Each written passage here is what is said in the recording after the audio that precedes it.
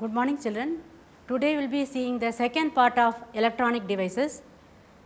Yesterday we have seen the junction diode working and I explained you about forward bias and reverse bias of junction diode. Today we will be studying the rectification action that is we will see diode as rectifier. So, what is the meaning of rectification or what is rectifier?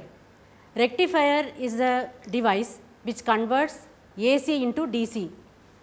So, we know that AC current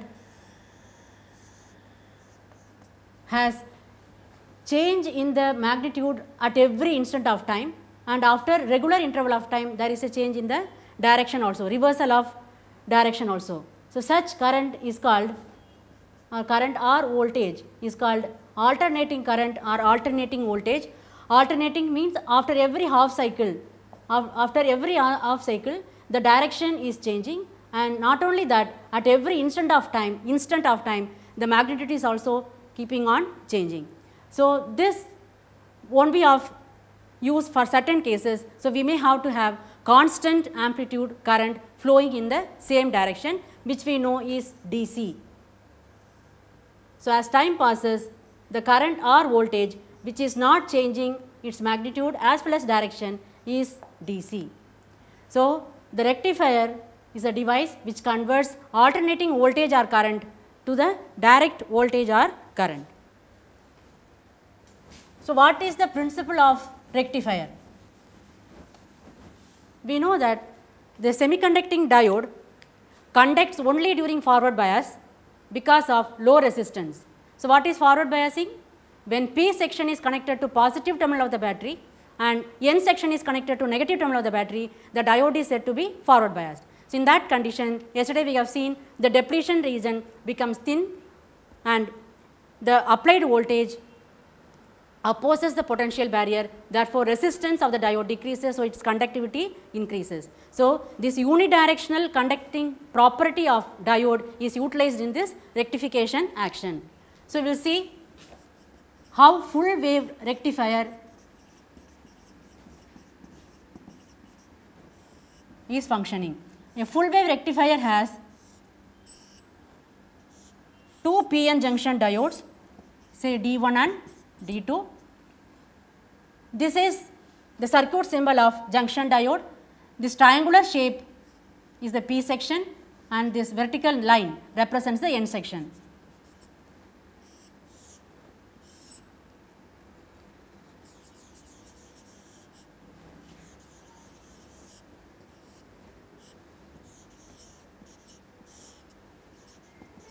The AC to be rectified is connected to the primary coil and the secondary coil is kept near to that. The P sections of two diodes D1 and D2 are connected to the secondary coil.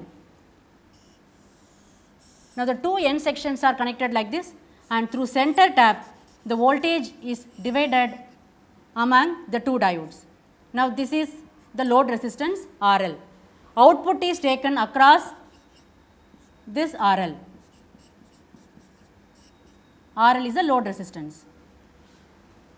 Now, we will see what happens when AC is or alternating voltage is applied across this primary coil.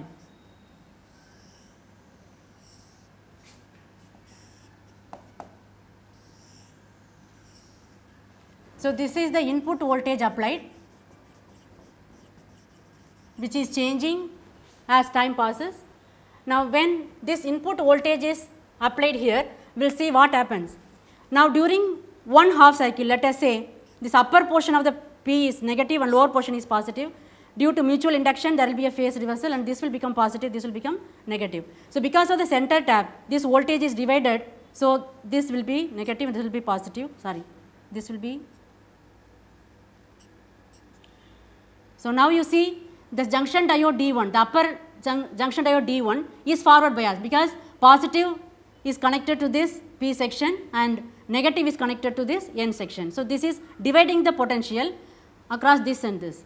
So, during this half cycle, first half cycle, what happens? D1 diode is forward biased and D2 is reverse biased. So, only D1 will conduct and this arrow head like portion of this P section also tells you the direction of conventional current. So, the current will pass through the load resistance in this direction that is from right to left. So, this happens during first half cycle. So, during first half cycle the diode D2 is not connecting because of the reverse bias. This you can see from the diagram negative is connected to this one and P section and N section is connected to the positive. Therefore, this will not conduct during the first half cycle. Now, during second half cycle what happens? The upper portion of the primary coil becomes positive and lower portion becomes negative. Therefore, here due to mutual induction this end will become negative and the lower end will become positive. As I explained to you earlier, now which, which diode will conduct? The diode D2 will conduct because now in this condition diode D2 is forward biased and D1 is reverse biased. Therefore, during the second half cycle the conduction is only due to D2. Now, we will see what is the direction of current. As I told you this arrowhead of P section also gives the direction of the conventional current. So, during next half cycle also through the load resistance you see the current direction is same that is from right to left. So, we will represent it in the graph. So, now this is output voltage. So, we will extend it. So, when you draw this graph it is better to draw one below the other so that it will be clear what happens during every part of the input signal. So, during positive half cycle the diode D1 conducts therefore, we will get the output and during negative half cycle the diode D2 conducts. So, again we get the output. So, this is due to D1, this is due to D2. Similarly, we can extend this. So, what you get is like this.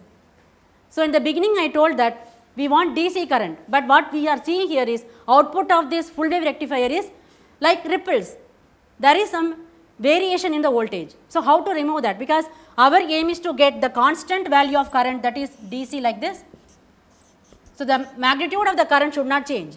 No doubt the direction is not changing here, we get unidirectional current only, but what about the magnitude? Magnitude is changing. So, to remove these ripples, so for DC we want the constant amplitude. So, to get the constant amplitude what is done is the output of the full wave rectifier is fed to the filter circuit. The filter circuit will remove these ripples that is variation in the voltages and we can get the constant current. So, about the filter circuit you will be studying in the degree classes. So, for 12 standard syllabus you just have to mention about the filter circuit that is enough.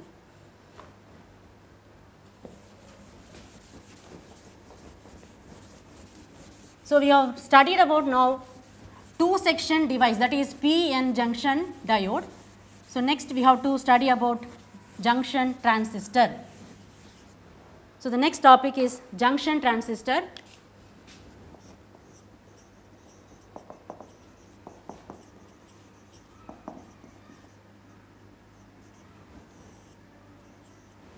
So, junction transistor is three section device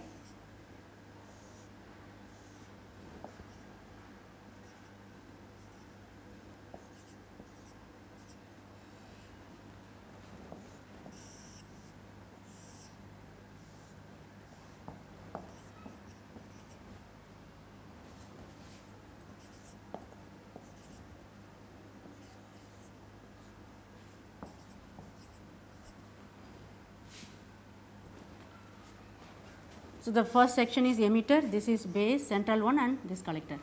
So, this from the diagram you will see that it is a 3 section device. So, it will have a 3 terminal, it will have 3 terminals like this.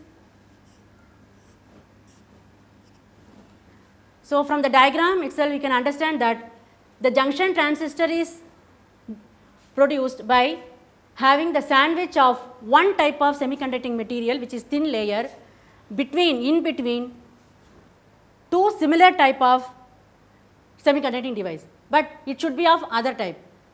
If the uh, middle region, the thin region is of n type, the other two sides should be of p type and vice versa. So, based on this we have got two types of transistor that is PNP and NPN. Now, in this diagram you see here I mentioned E, B, C. What are these letters significant? Now, C, E represents emitter,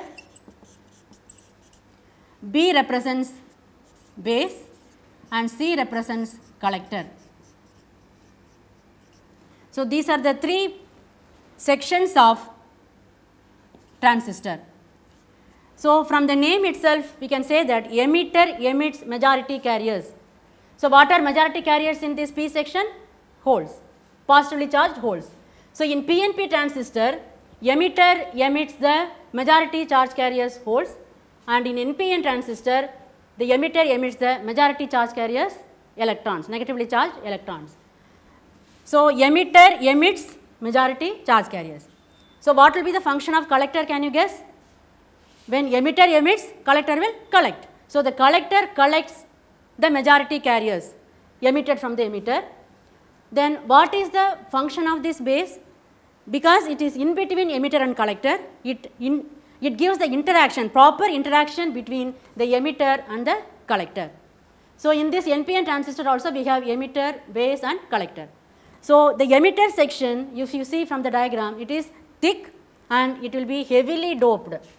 Doping we have studied yesterday, it will be heavily doped the emitter section and base is the thin layer and it is lightly doped.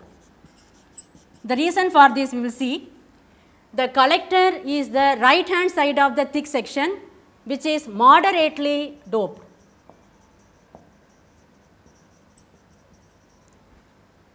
So, you should know these things that is emitter is heavily doped and its thick layer, base is the lightly doped region which is uh, uh, thin region and collector is the thick layer which is moderately doped.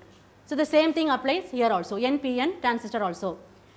Now, normally we will not draw transistor by this, the circuit symbol is something else. The way we have drawn diode like this, this is circuit symbol. So, circuit symbol of transistor is like this.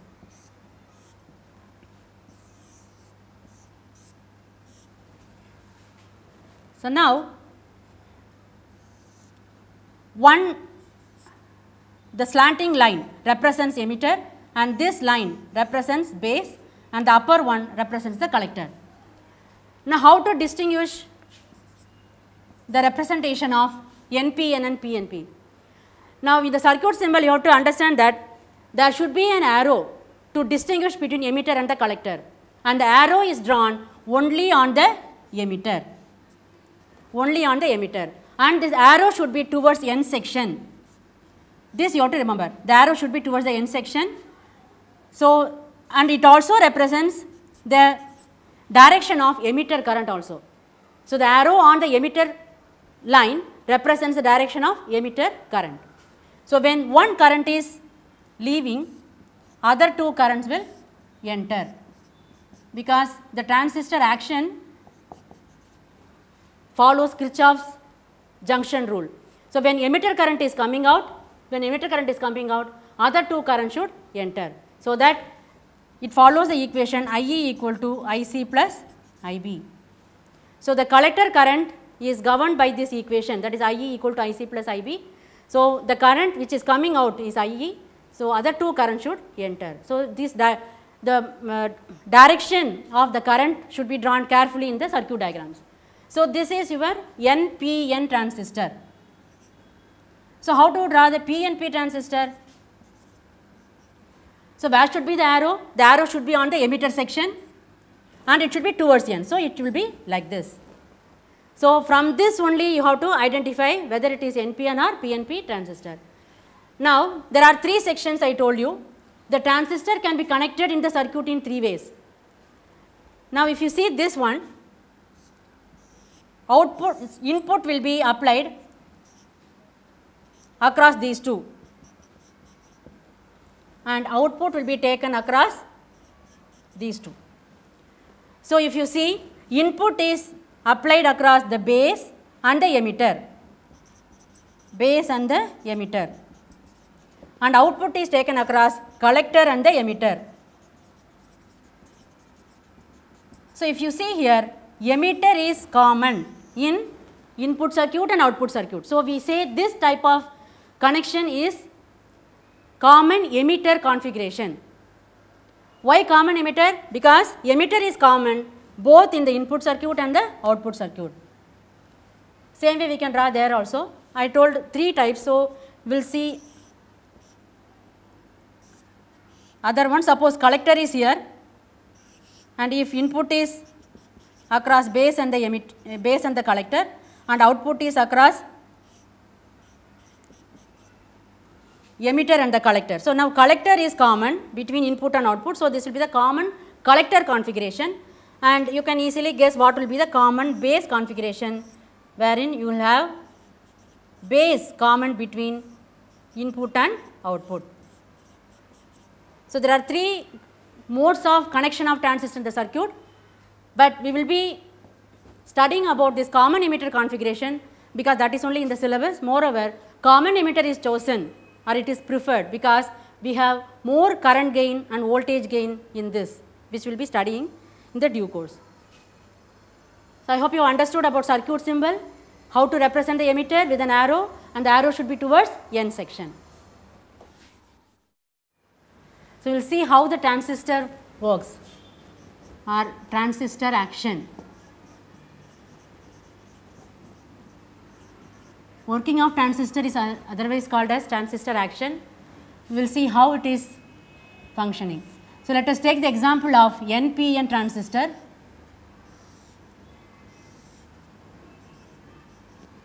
So, NPN transistor is the P section sandwiched between two N sections. So, we know that in the N side or N section, the negatively charged electrons are majority carriers and the holes are minority carriers. Similarly, the collector side we have N section. So, the negatively charged electrons will be majority carriers and holes will be minority carriers. So, this is the collector section, emitter section sorry left hand side is emitter section, right hand side is collector section. Now, in the base region if you see it is a p section. So, in P section we know it has holes that is positively charged holes as majority carriers and electrons as minority carriers.